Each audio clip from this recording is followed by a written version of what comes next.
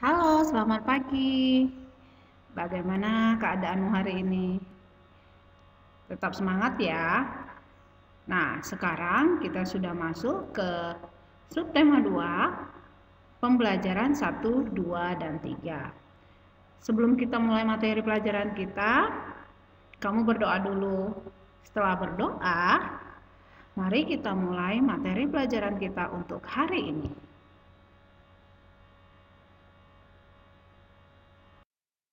Materi Bahasa Indonesia menemukan informasi tentang wujud benda. Informasi merupakan sebuah berita atau kabar tentang sesuatu selain dari teks, kita dapat menemukan informasi dari sebuah gambar. Untuk menemukan informasi dari sebuah gambar, yang harus kita lakukan adalah satu, Kita harus memperhatikan gambar dengan seksama. Dua, Tuliskan ciri-ciri yang terdapat pada gambar. Dan yang ketiga, gunakan kosakata yang baku dalam menuliskan informasi dari gambar. Jadi, kalau kita mau menuliskan sesuatu, pergunakan bahasa Indonesia yang baku, yang sesuai dengan EYD atau ejaan yang disempurnakan. Perhatikan gambar-gambar berikut di mana di sini ada tiga gambar, yaitu gambar A, gambar B, dan gambar C. Kita akan mencari informasi dari ketiga gambar ini. Dalam mencari informasi, kita dapat menggunakan kata tanya. Kamu masih ingat kan? Apa itu kata tanya? Ya, di pembelajaran sebelumnya kita sudah belajar tentang kata tanya. Pada gambar A, kita akan mencari informasi dengan menggunakan kata tanya, yaitu satu, apa nama benda yang terdapat dalam botol pada gambar A? Kedua, apa wujud benda dalam botol tersebut? Nah, sekarang kita akan menjawab pertanyaan tersebut setelah kita mengamati gambar. Pada gambar A, sebuah botol itu berisi kelereng. Pertanyaan yang kedua, kelereng-kelereng tersebut berwujud benda padat. Kembali kita memperhatikan gambar B, di mana gambar B itu ada lima balon. Sekarang kita akan membuat pertanyaan dari gambar gambar ini. Satu, apa nama benda yang terdapat dalam balon pada gambar B? Dua, apa wujud benda dalam botol tersebut? Sekarang kita akan mencoba menjawab pertanyaan tersebut. Nama benda yang ada pada balon tersebut adalah udara. Jawaban yang kedua, wujud benda pada balon tersebut adalah benda gas. Selanjutnya, gambar C. Kalian melihat bahwa gelas itu berisi air. Nah, sekarang kita akan membuat pertanyaan sesuai dengan gambar. Satu, apa nama benda yang terdapat dalam gelas pada gambar C? 2. Apa wujud benda dalam botol tersebut? Nah, kemungkinan jawabannya adalah nama benda yang terdapat di dalam gelas adalah air. Jawaban yang kedua adalah wujud benda dalam gelas tersebut adalah benda cair. Jadi seperti itu cara untuk menemukan informasi e, tentang wujud benda dari gambar. Jadi yang harus kita lakukan adalah kita harus memperhatikan atau mengamati gambar dengan teliti dan dengan seksama agar informasi dapat kita peroleh. Salah satu ciri-ciri benda antara lain memiliki massa dan ruang. Apakah yang dimaksud dengan massa dan volume? Nah, coba perhatikan bola basket dan bola plastik. Keduanya sama-sama bola, namun bahannya berbeda. Menurutmu, bola manakah masanya yang lebih besar? Kedua bola mempunyai ukuran yang berbeda. Kedua bola bahannya juga berbeda. Nah, di antara bola ini, manakah masanya yang lebih besar? Tentu bola basket yang lebih berat karena bola basket bahan penyusunnya beda dengan bola plastik. Bola basket terbuat dari karet sintetis, sedangkan bola plastik terbuat dari plastik. Bola basket lebih berat, lebih berat daripada bola plastik. Banyaknya bahan penyusun yang terdapat dalam benda disebut massa. Massa umumnya diukur dengan satuan gram atau kilogram. Perhatikan alat di samping ya. Nah, selain massa, benda mempunyai volume. Apakah volume benda itu? Semua benda menempati ruang. Ukuran ruang yang ditempati oleh suatu benda disebut volume. Benda yang kecil menempati ruang yang lebih kecil dibandingkan dengan benda yang besar. Hal ini berarti benda yang kecil memiliki volume yang kecil. Benda yang besar memiliki volume yang besar. Perhatikan gambar di bawah ini. Kalau kita perhatikan, volume akuarium A lebih besar daripada volume akuarium B. Ayo berlatih. Perhatikan pengukuran massa benda berikut ini.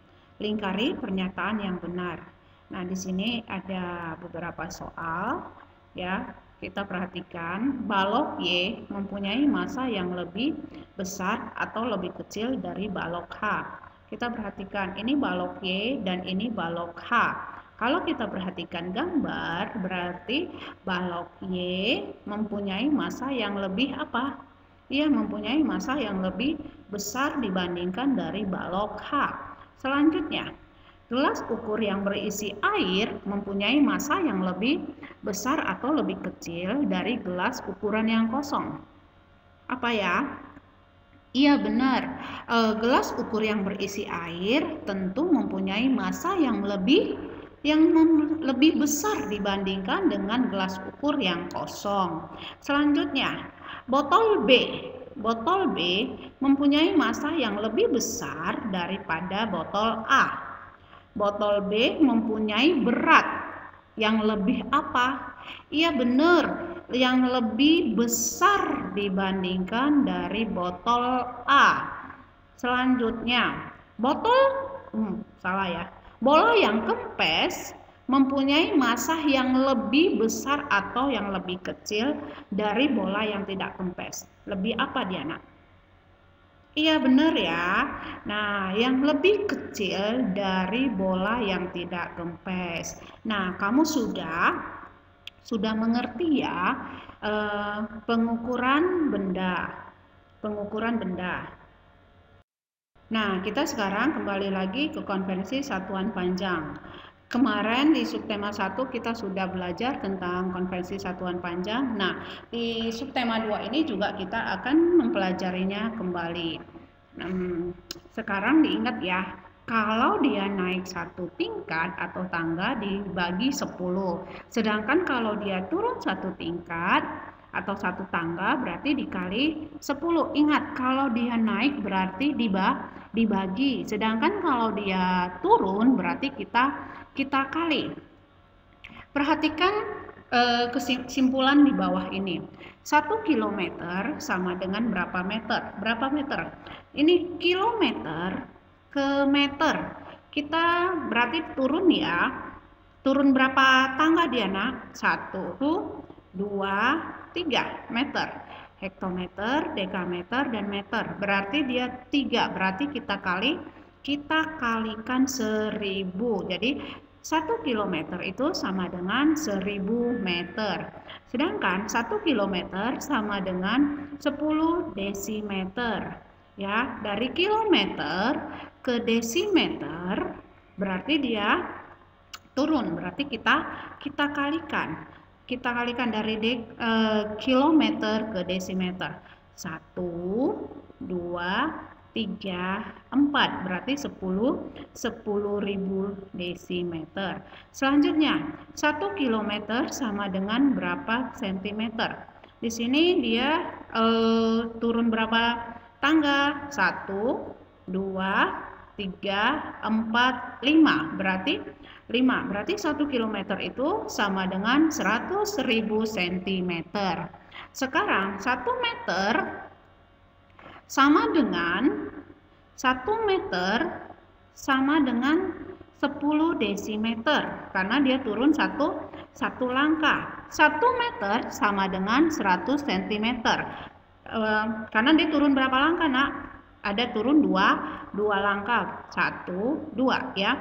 Jadi 100 cm. 1 desimeter sama dengan 10 desimeter. Ayo berlatih. Ada bermacam-macam bentuk bangunan. Juga bahan pembentuk bangunan tersebut. Perhatikan dena jarak antar bangunan di bawah ini. Nah, tentukan jarak dalam satuan meter. 1 km itu sama dengan 100 meter. Nah, di sini contoh soalnya rumah Siti ke sekolah. Ini rumah Siti. Ke sekolah itu jaraknya ada berapa? Jaraknya itu ada 5 km 100 meter sama dengan titik-titik meter.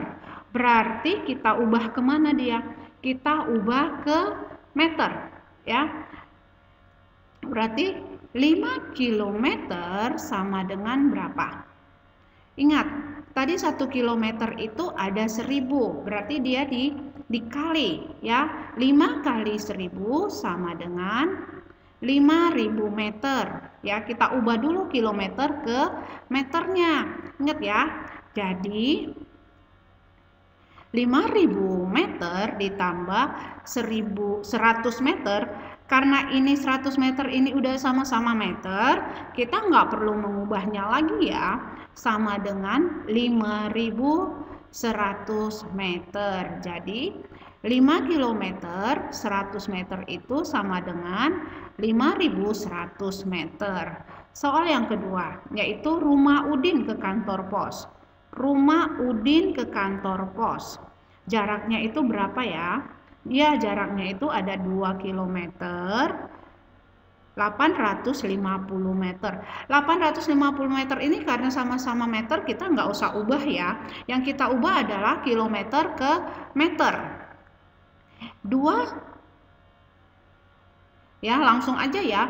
2000 meter ditambah 850 meter sama dengan 2850 meter. Jadi 2 km 850 meter sama dengan 2850 meter. Rumah Siti ke Udin. Rumah Siti ke Udin ada berapa ya jaraknya? Ya, rumah Siti ke Udin itu ada 6 km 350 meter kita akan ubah ke meter. Ingat, kilometer ke meter itu se seribu berarti 6 dikali 6 dikali 1000 sama dengan 6000 ditambah 3500 3 ditambah 350 meter sama dengan 6300 150. Jadi 6 km 350 meter sama dengan 6350 meter. Alat ukur ada bermacam-macam, baik jenis maupun kegunaannya. Altimeter adalah alat yang digunakan untuk mengukur ketinggian suatu titik dari permukaan laut. Biasanya alat ini digunakan untuk mengukur tinggi pesawat saat terbang dari permukaan laut.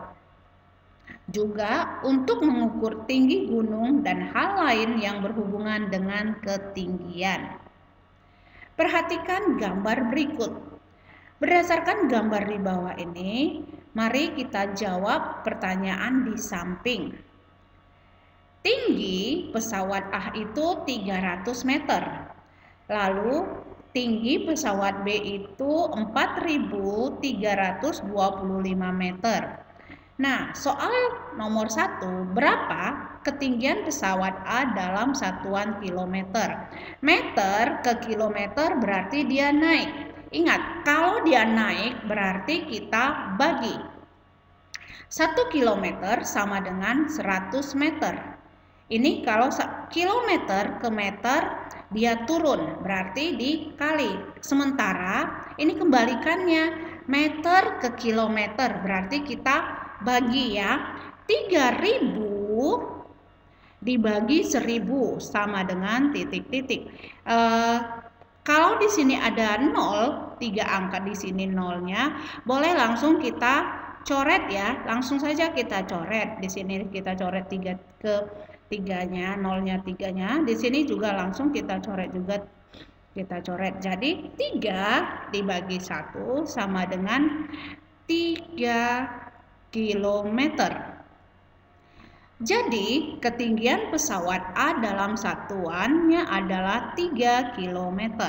Nah sekarang soal yang B. Berapa ketinggian pesawat B dalam satuan kilometer? Pesawat B tadi itu ketinggiannya itu 4325 eh, meter. Ya, kita akan ubah ke kilometer. Berarti yang kita ubah adalah hmm, 4 kilo 4 ribu ya 4000 ditambah 300 25. Ini kita pilih dulu ya, kita pilih dulu 4000 ditambah 325. Nah, yang kita akan yang akan kita ubah di sini adalah 4000-nya. 4000 dibagi 1000. Ya, langsung aja ya. Di sini kita coret nolnya, di sini juga akan kita coret nolnya.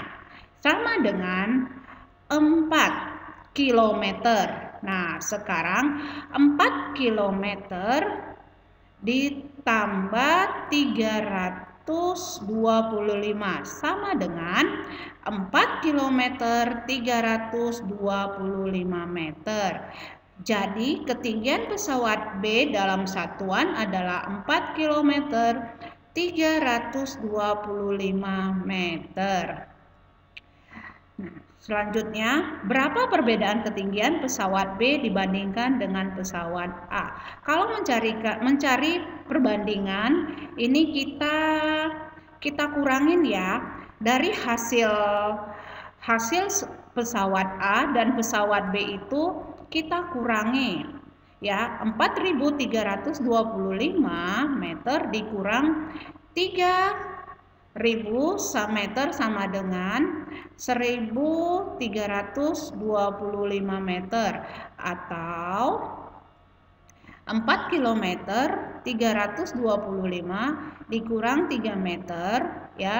Sama dengan kita met, kilometer ke kilometer kita kurangin dulu ya 4 km dikurang 3 3 km ya sama dengan 1 km 325 meter. Sikap tolong menolong. Menolong artinya membantu teman atau orang yang mengalami kesulitan. Tolong menolong artinya saling membantu atau bekerja sama dengan orang yang ditolong. Bekerja sama dengan teman yang membutuhkan pertolongan. Orang yang suka menolong biasanya banyak teman, Tolong menolong dapat dilakukan di rumah, di sekolah, dan di lingkungan masyarakat kita. Perhatikan gambar ini. Gambar ini adalah seorang anak yang membantu temannya yang sedang jatuh dari sepeda. Perbuatan ini adalah perbuatan yang sangat terpuji dan harus kita tiru ya. Jadi perbuatan yang baik wajib kita tiru. Tapi perbuatan yang tidak baik itu tidak wajib kita tidak wajib kita lakukan, harus kita tinggalkan. Jadi sikap tolong menolong itu membuat kita akan banyak disenangin teman, ya.